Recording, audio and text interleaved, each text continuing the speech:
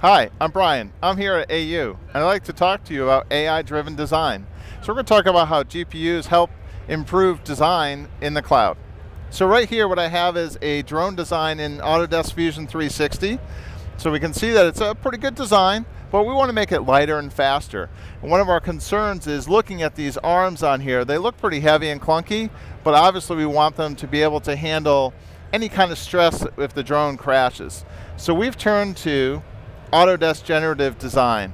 And with generative design, we're able to put constraints and load on that arm, just like it would experience in a real crash. And then we're going to ask generative design to go out and run different scenarios with different materials like polycarbonate and nylon and aluminum so we can come up with an optimal arm design that we can then go to complete our drone and actually manufacture it. So I've already run through a bunch of simulations that are run in the cloud using NVIDIA GPUs to make it faster.